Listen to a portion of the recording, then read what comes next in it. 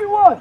Give me two. And you say you I'm here at the National Underclassmen Combine Ultimate 100 here in Delaware. I'm here with Dionte Fleming. He won the linebacker MVP. Dionte, how would you say you did today?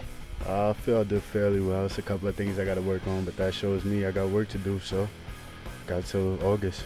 Cool. Any interesting new techniques you learned today? Um, just be physical at the line, and you know, no one can beat you pretty much.